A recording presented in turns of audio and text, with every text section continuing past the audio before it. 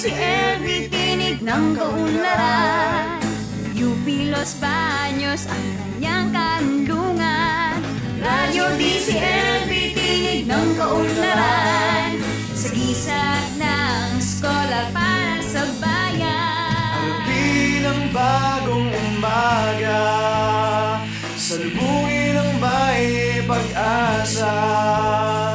Makinig, matuto, magsaya ng kaunlaran Kabalikat kasama, karamay kaibigan. Radyo DCLB, tinig ng kaunlaran. Isusulong ang bagong kaalaman. Harapin ang bagong umaga. Salubungin ang may pag-asa. Makinig, matuto, magsaya Sa Radyo DCLB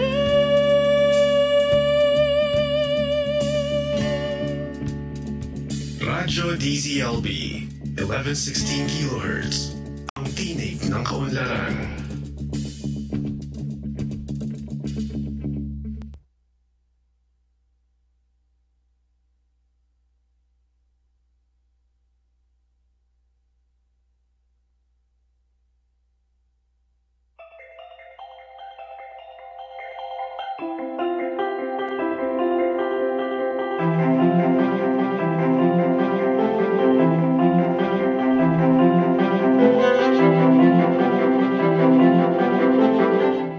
magandang araw nga po ng lunes sa ating mga kababayan nakatutok sa Radyo DZLB Online.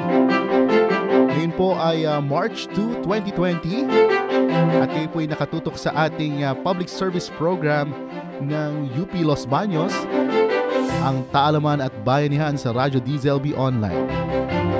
Kasama niyo po muli si RJ at ah, meron po tayong makakasamang kaibigan na kasama po natin sa ating taalakayan mula po sa Office of Public Relations. Kasama natin si Albert Peralta. Good morning, good morning Albert. Good morning, RJ. Ayan. So sa mga nakalipas pong mga lunes ay sinamahan niyo po kami para po natin mabigyan ng impormasyon ng ating mga kababayan na apektuhan nga po ng ah, pagsabog ng Bulkang Taal.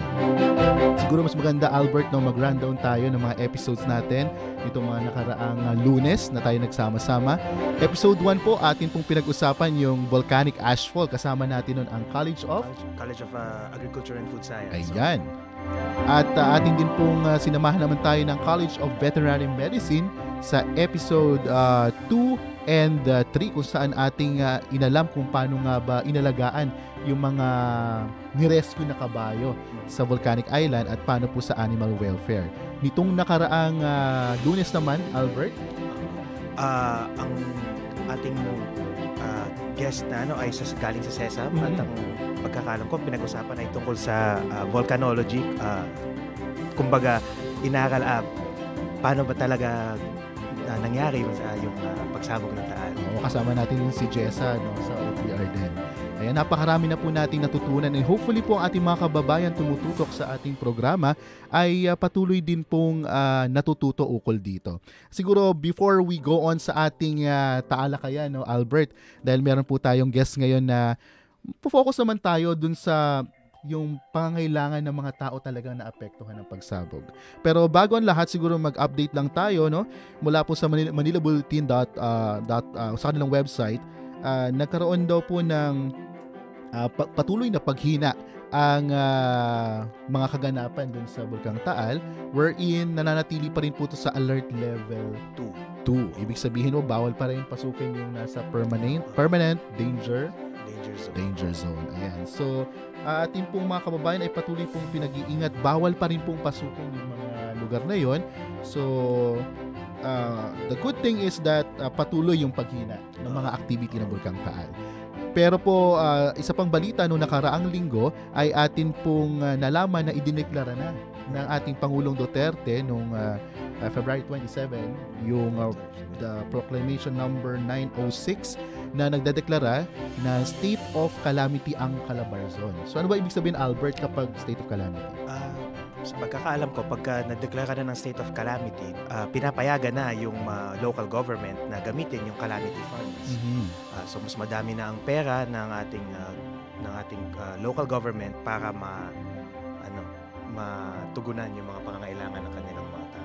Ayan, lalo-lalo na po tayo'y tapos na sa ano eh, more on rehabilitation efforts na tayo no Albert no sa ating mga kababayang uh, naapektuhan nga po ng pagsabog marami po sa kanila ang ano nga eh nakabalik na sa kanilang mga community at uh, napakahalaga na patuloy yung pagbigay ng tulong ng ating gobyerno at ang ating community sa ating mga kababayan. Ayan, isang pong magandang umaga muli sa ating mga online viewers dito po sa ating pong programang Taalaman at uh, Bayanihan sa DZLB.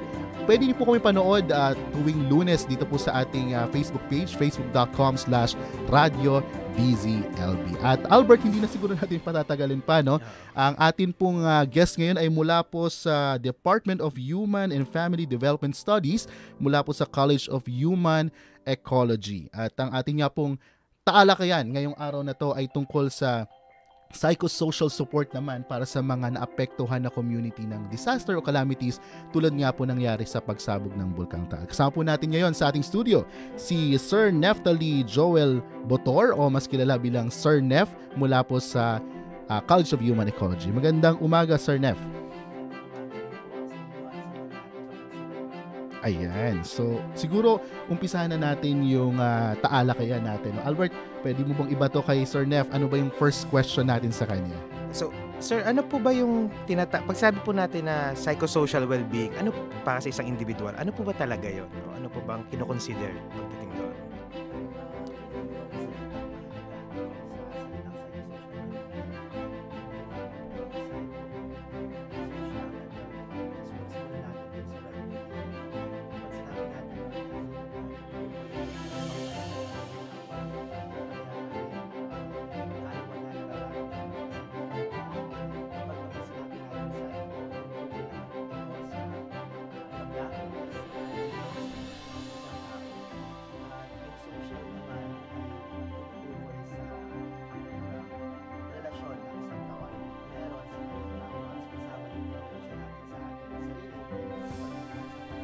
Sige Sir Nef, medyo naayos lang natin yung ating uh, microphone siguro para mas marinig si Sir Nef.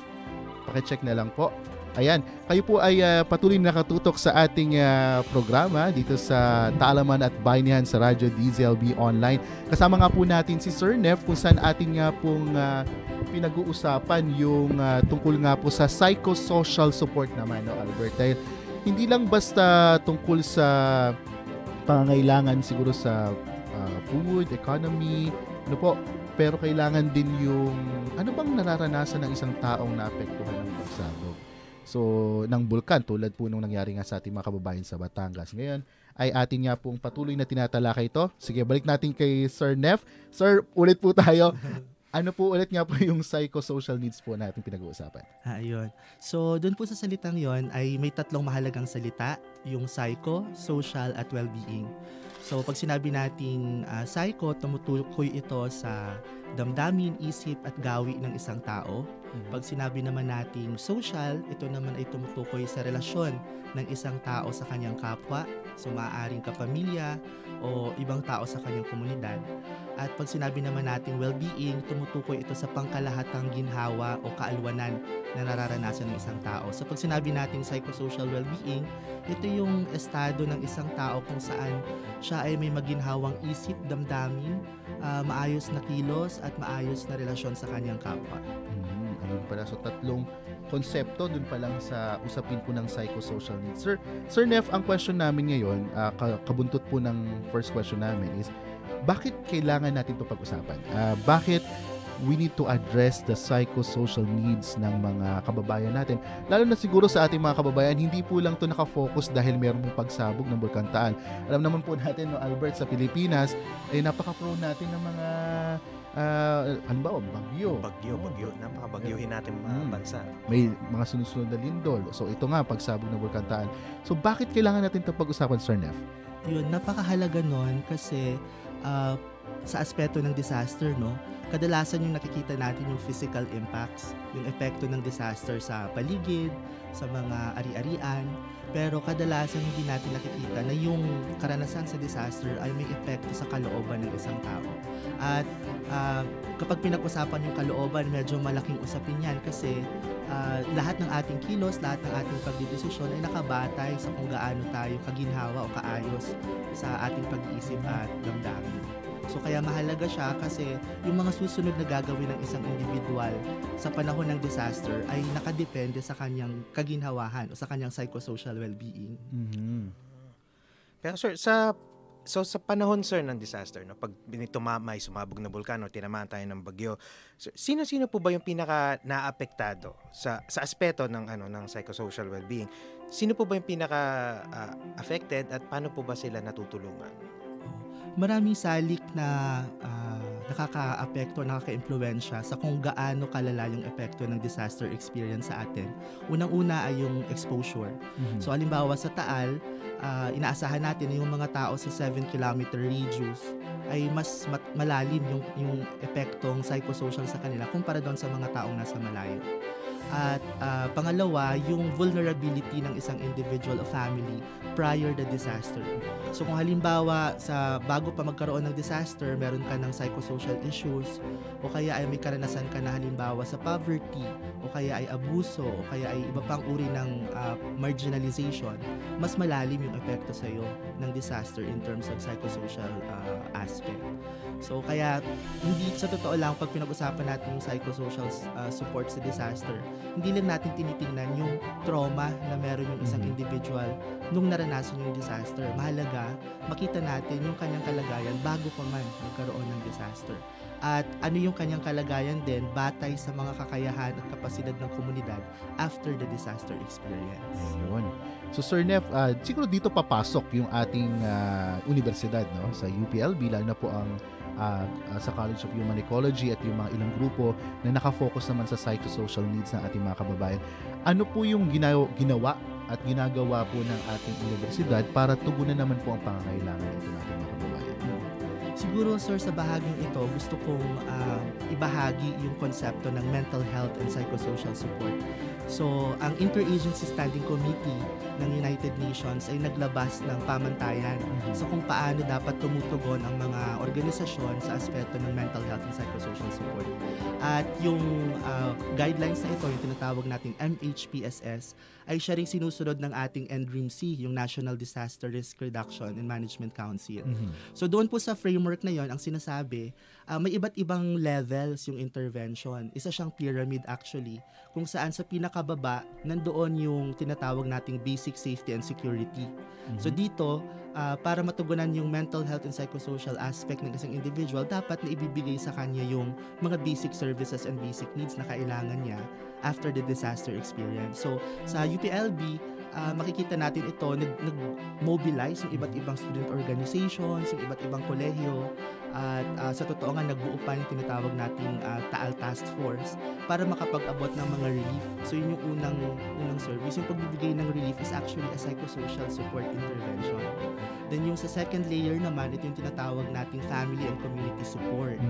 Ah, dito papasok naman yung ah, psychosocial visits na ginagawa natin kasama yung iba't ibang ah, departamento. Halimbawa yung departamento namin ah, in partnership with the UPLB Gender Center and UPLB Pahinuhon. So yung family and community support, ang ginagawa naman dito sa level 2 ay binibigyan ng pagkakataon yung mga nasalanta na makapagkwento ng kanilang karanasan. Saka palang papasok yung tinatawag nating Cheer 3 and Cheer 4 support na mas specialized and focused intervention tulad ng counseling, psychotherapy, at sa ibang kaso nga kung kailangan ng medication, psychiatric uh, services. So nandoon tayo sa level 1 and level 2 uh, interventions yung ginagawa ng uh, UPLB sa kasalukuyan.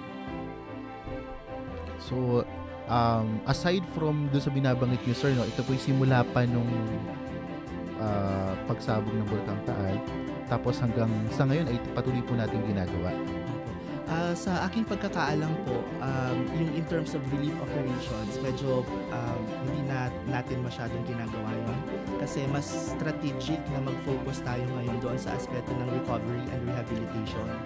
Ah, since tulad nga po ng nabanggit nyo kanina, yung trend sa mga evacuation centers ay bumabalik na sila sa kanilang mga komunidad kung maaari pa at yung mga hindi naman ay nagsisimula ng planuhin kung saan sila ililipat temporarily.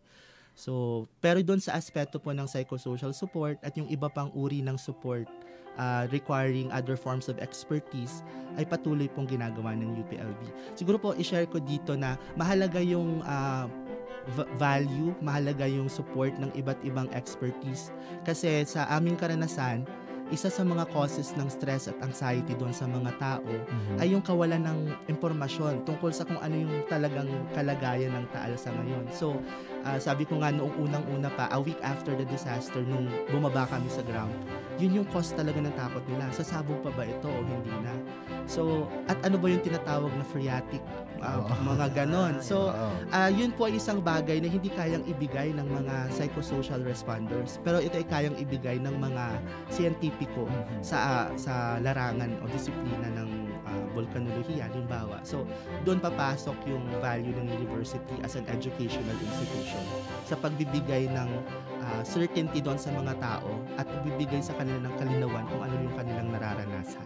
Tama yun, Sir Nef, no? Marami, kahit siguro yung ah, hindi naapektuhan ng pagsabog ng Bulkan Taal, ay yung mga terminologies na narinig natin siguro, an ano yung binabanggit na phreatic, na eruption, anong pagkakaiba nan sa ibang pagsabog, ah, it caused um, a lot of questions sa ating mga kababayan. And may factor, siguro before magbato si Albert ng question, itatanong ko lang, um, regarding po sa anxiety na or yung mga stresses na naramdaman ng ating mga kababayan, um, because we are uh, isang bansa na lagi pong dina, tinatama ng bagyo, may lindol, ngayon naman pagsabog ng Bulkang Taal, meron po bang difference? I mean, uh, na-experience sa mga nabagyo, for example sa Yolanda, or yung mga nalindol sa Bohol, dito sa nangyaring pagsabog ng Bulkang Taal, dito sa Batangas. Ah, batay sa aking karanasan kasi na involved din ako sa Yolanda Response ah, sa aspeto din ng MHPSS, may mga pagkakaiba doon sa karanasan mismo. So unang-una, ah, doon sa sa Yolanda, ah, maraming namatay. So Mhm. mas malalim talaga yung psychosocial trauma na prinoseso doon sa mga individuals doon as compared dito sa atin na salamat naman sa Diyos at wala talagang ah, fatality ano po. So Pangalawa, yung difference ay doon sa Yolanda hindi- na pinagninilayan ko pa rin kung siya ay maganda o hindi maganda. Kasi Mhm. doon sa Yolanda after nung bagyo ah, immediately nakafocus yung mga tao sa recovery and rehabilitation. Kasi sigurado tayo na hindi na siya mangyayari immediately after. Pero sa Taal ah, may certain uncertainty kung although binaba na siya nga sabi niyo sa level 2 Mhm. pero yung mga tao, meron kasi silang paniniwala base din sa kwento ng kanilang mga ah, ninuno na ah, yung taal ay tatahimik lang pero sasabog ulit. So there is a constant fear among the people regarding the hazard. So yun yung isa sa malaking ah, pagkakaiba na nakikita ko na may epekto doon sa kung paano din nila dinadala yung kanilang karanasan. Okay. Ah, sir, nagkaroon ako ng opportunity na last month, last well, last week, last Monday, nakasama ako sa inyo sa isang ano, sa isang psychosocial visit.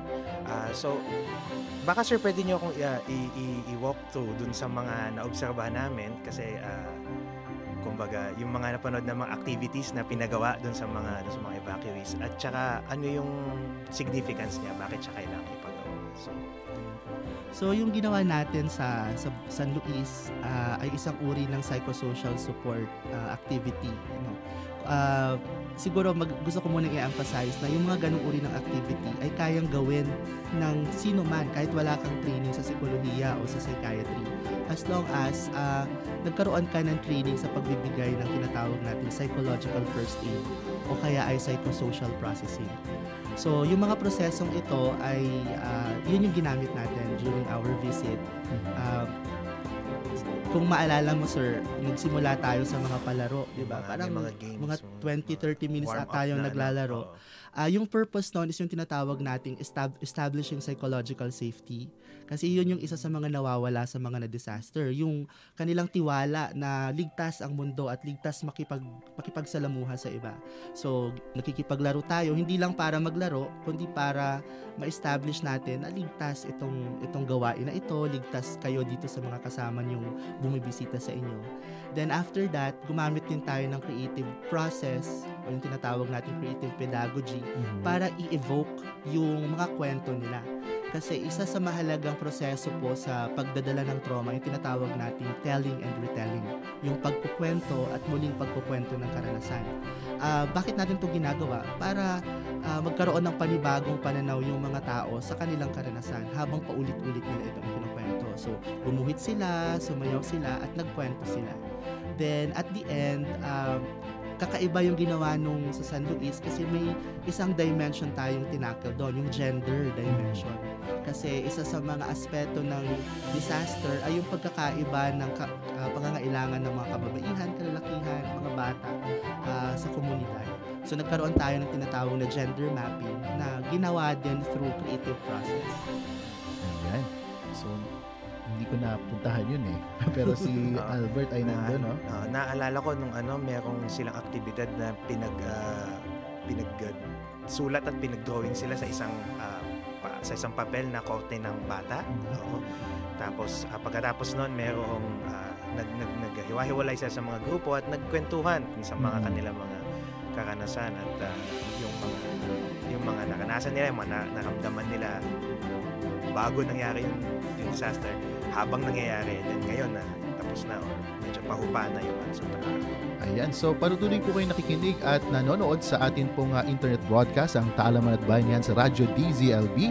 Kasama po natin si Sir Neff at atin po pinag-uusapan yung psychosocial support naman po ng UPLB sa mga naapektuhan ng pagsabog ng Bulkang Taal. So, good morning po sa ating mga viewers. Siguro before iba to ni ni si Albert yung last question natin kasi off the air po kanina may tinatanong ah, pinag-uusapan tayo Sir Neff no isa sa mga distinct characteristic ng isang Pilipino kilala tayo na very resilient, no? Sabi nga eh, kahit anong bagyo, anong kalamidad, kayang-kaya pa rin. Eh, sabi nga nung pinag-uusapan kanina, ginagawa na lang meme ng mga ibang tao yung ah, mga disaster. Now, before natin i-shoot yung last question, yung pagiging resilient ba ng Pinoy is a good thing?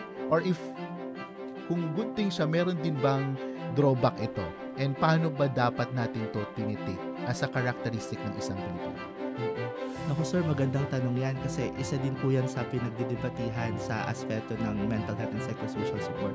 Ah, siguro magandang ah, maunawaan natin na yung resilience ay isang positive na bagay. Ano po, yung kakayahan ng isang tao na magkaroon ng humor sa gitna ng disaster, ah, makabangon mula sa disaster, mag-cope doon sa mga stress at trauma na nararanasan. Maganda po ito.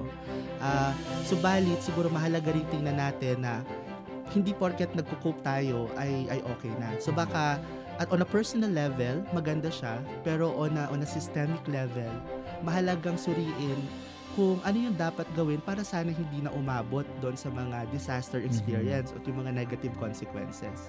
So kung yung resilience ay gagawin nating uh, uh, kumbaga motivation para Mhm. magkaroon ng pagbabago doon sa sistema, sa mga estruktura para hindi na mangyari yung mga disasters at gagawin natin itong um, kumbaga basis ng preparedness, masasabi natin maganda yun. Pero kung resilience ay actually kung yung salitang resilience ay gagamitin natin para i-equate sa salitang escape, ah, ah, medyo hindi yung maganda. So, depende po kung paano natin tinatanaw. Pero in essence, pag sinabi talaga natin resilience, kasama doon yung ah, learning from the experience and doing something uh, better after you experience the disaster. So, building back better. Yun yung Mm. sinasabi nga natin dyan.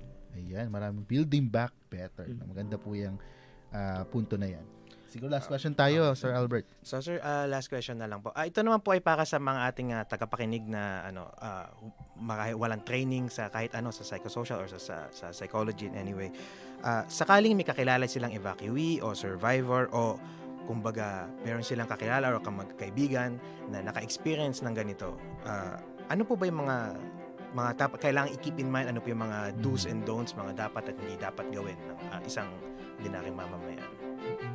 Yun po. Siguro una, kailangan nating ma-realize na kaya nating magbigay ng suporta sa mga taong nakaranas nito kahit wala nga tayong training. Ano po. Siguro gagamitin ko yung salita ni Dr. Hani Karandang, isa sa mga pangunahing family psychologist dito sa Pilipinas. Ah, sabi niya, ah, ginamit niya yung salitang pakikipagkapwa damdamin. Ah, ito yung proseso kung saan tayo ay nakikiramay at inilalagay natin yung ating sarili sa sitwasyon ng iba. Ah, kapag na-trigger natin yon or na-harness natin yon, magkakaroon tayo ng kakayahang una, makinig ng walang paghuhusga doon sa mga nakaranas. Kasi pag ah, pinakinggan natin sila, maaring meron silang galit ah, na nararamdaman, pwedeng hindi sila satisfied sa nangyayari sa paligid nila. So pakinggan lang natin sila ng walang panghuhusga. At ah, pangalawa, kung may kakayahan tayo, abutan natin sila ng tulong para ma-provide yung kanilang basic needs. At pangatlo, kung sa tingin natin ay yung kanilang kwento, yung kanilang dina- dinaranas ay lubhang mabigat at hindi natin kayang ah, kumbaga matulungan sila sa aspeto ng ah, psychosocial ah, issues na nararanasan nila, pwede natin silang i-refer doon sa mas nakaka ah, doon sa mga taong mas may training.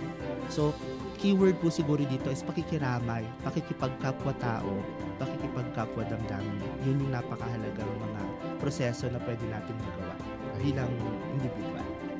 Napakaganda po ng ating mga nabanggit na Sir Nef. Siguro, last message po siguro sa mga, uh, either magpasalamat po tayo sa mga naging katuwang din po ninyo sa inyong mga activities or meron pa kayong last message sa ating mga online viewers, pwede nyo pong sabihin sa kanila. Ayan. So, ah, siguro kukunin ko tong pagkakataong ito unang-una para magpasalamat sa aking mga kasama sa Department of Human and Family Development Studies, particularly kay Professor Rafael Ferrer, kay Professor Catherine Del Rosario at kay Mr. ah, Roy Christopher Alamban. Na sila talaga yung katuwang ko sa mental health and psychosocial support sa department. And also sa iba pang volunteers na faculty and ah, staff ng aming departamento.